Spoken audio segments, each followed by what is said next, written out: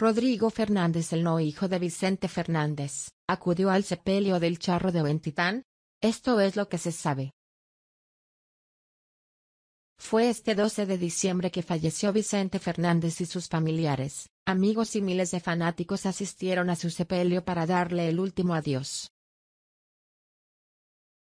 Este fin de semana, luego de estar hospitalizado desde el mes de agosto, Vicente Fernández falleció a los 81 años de edad.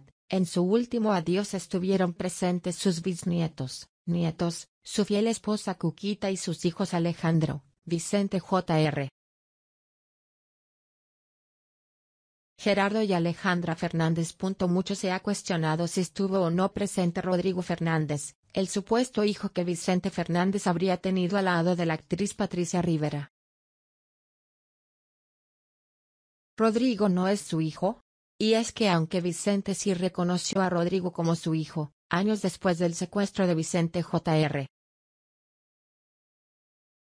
Y por protocolo del seguro de vidas que contrataron, todos los integrantes de la familia Fernández tuvieron que someterse a una prueba de ADN.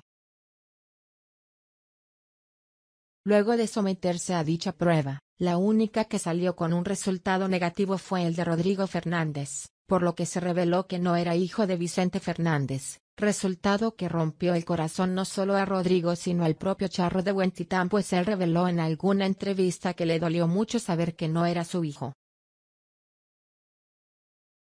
Y es que Rodrigo llegó a vivir en el rancho Los Tres Potrillos, y convivió no solo con los demás hijos de Vicente Fernández sino también con doña Cuquita quien lo aceptó a pesar de la situación. Desde entonces la relación entre Rodrigo y los Fernández es nula y el hijo de Patricia Rivera prefiere no hablar del tema cuando es cuestionado por la prensa. ¿Estuvo en el sepelio de Vicente Fernández?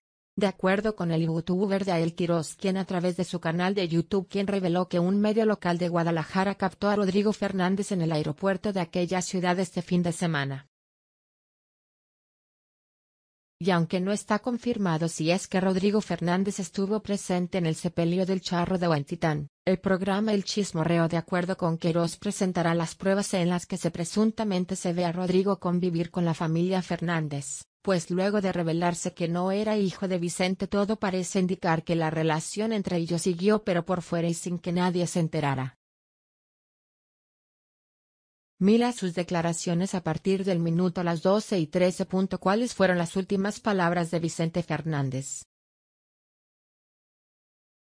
El padre que despidió al charro de Huentitán en el hospital reveló cómo fueron las últimas horas de vida del cantante y desmintió versiones sobre su muerte.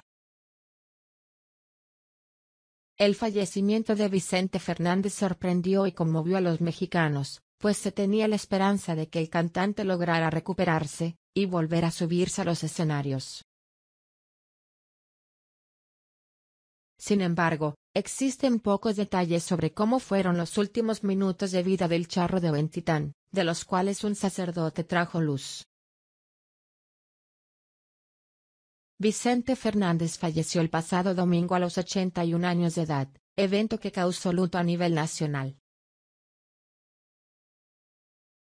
Su despedida estuvo envuelta en tanta atención mediática que comenzaron a surgir las teorías de que el cantante no habría muerto el pasado 12 de diciembre.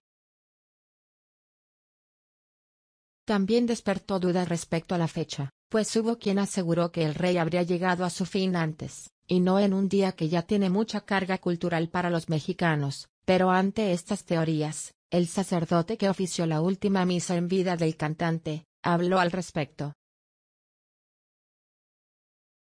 En entrevista con Ventaneando el padre Oscar Sánchez Barba narró cómo él acompañó al cantante durante sus últimas horas de vida, y cómo fue testigo del profundo dolor que vivieron los Fernández el pasado domingo.